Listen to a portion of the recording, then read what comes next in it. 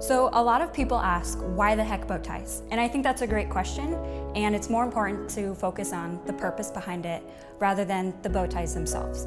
So if we go back to April of 2017, I was informed that the second poorest people group in the Western Hemisphere, they fall right behind Haiti, doesn't live abroad. They're actually right within the United States.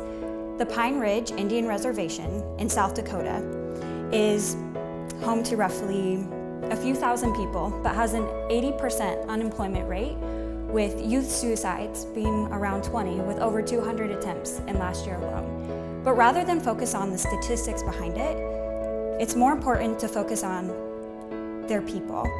They have purpose and they have value. So fast forward a little bit to April, and I paid him a visit. And when you go on the reservation, you do see rundown homes. You see people coming out of places where you thought that they were abandoned.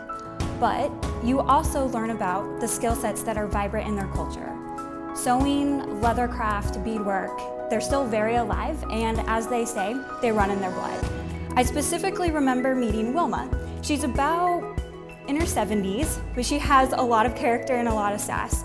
She would tell me about the quilts she would make and also the beadwork she would do. This is an abalone, it's called the abalone shell. And these are bones. Sometimes she'd be so focused in her work that she would begin to, or she'd actually forget to eat lunch. And I can relate to that, being a seamstress myself. And I began to think, okay, how can we step alongside these skill sets and take their story beyond their reservation? And that's where the bow ties come into play. So while yes, this bow tie is a statement piece, it's also a piece that can have a story to it. It's one that breaks the ice and starts conversations.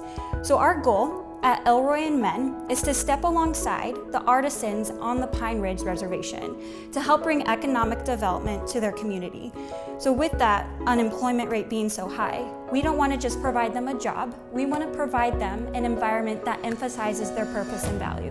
Something that's so different from the hopelessness that they feel in the reservation.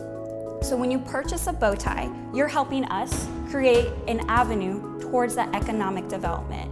You're saying, we see your pain, but we also see your value. And I'm gonna showcase it when I wear it. So I think it's about time that we give style a higher purpose, that we stop depending on the government to give more assistance, that we stop saying writing checks is gonna make a difference because transformation comes through long-term partnerships and long-term relationships. So what do you say? Are you ready to make a purchase?